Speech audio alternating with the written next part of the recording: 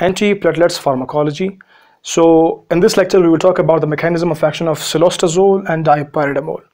Before we go uh, to study the mechanism of action, let us know a little bit that how the platelets aggregate generally. If we understand that how the platelets aggregate, then it will be easy for us to understand the mechanism of action of these two medications.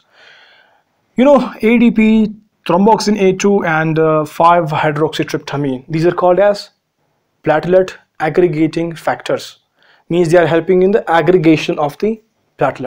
And uh, we don't need platelets aggregation inside the blood vessel. So what we do we give these medications in order to inhibit the platelet aggregation.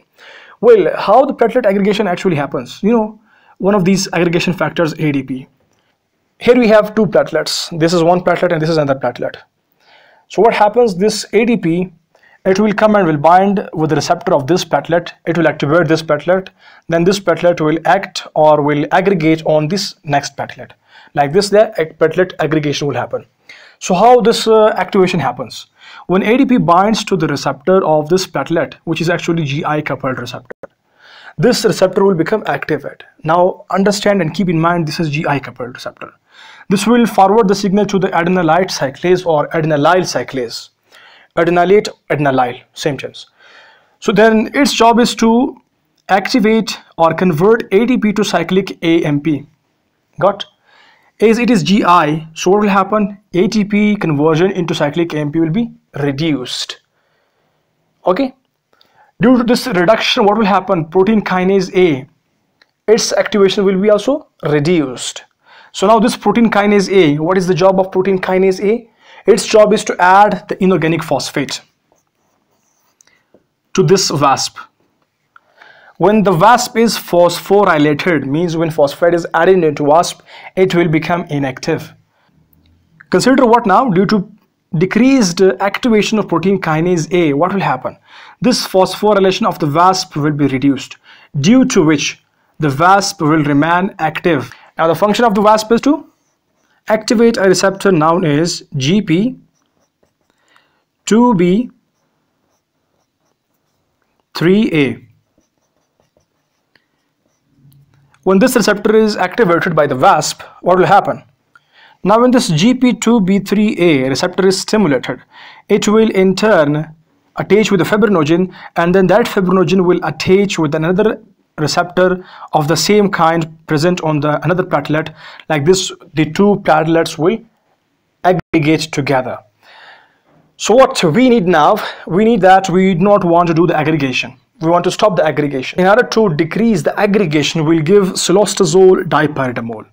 Now what is the mechanism of action of these two medication these medications, they will target the enzyme phosphodiesterase and these are known as phosphodiesterase inhibitors. So they will inhibit the phosphodiesterase. What is the normal function of uh, phosphodiesterase? Phosphodiesterase is actually breaking the cyclic AMP. Now if it is breaking the cyclic AMP, what will happen? Protein kinase A, it will be less activated due to which less phosphorylation of VASP will occur and the VASP again it will become active when it is less phosphorylated. So what we need is that we want that cyclic AMP production must be increased, then ATP protein kinase A, its activity must be increased, and if its activity is increased, then VASP will be phosphorylated, which will make the VASP inactive. If the VASP is inactive, then the VASP will not send a signal to activate this GP2B3A receptor. When this receptor is not activated, then it is not going to attach fibrinogen to another platelet, means platelet aggregation will be somehow decreased. So when cilostazol and dipyridamole, when we give these medications, these will inhibit the phosphodiesterase. So when the phosphodiesterase is inhibited, cyclic AMP production will be increased. Protein kinase A production will be increased. And you know the job, it is supposed to add the phosphate into VASP. When the phosphate is added into VASP, it will cause the inactivation of the VASP. And what will happen next? These all steps vanished. So then there is no any VASP available to activate receptor here. So when the receptor is not activated, what's going to happen? No aggregation with the another platelet. So this is how our uh, cilostazol and dipyridamole, these are doing the job to reduce the aggregation of the platelets. Hope so you got. If still you have any kind of question regarding the topic, you can drop that in the comment box. We'll come for the answers very soon. Thank you for watching.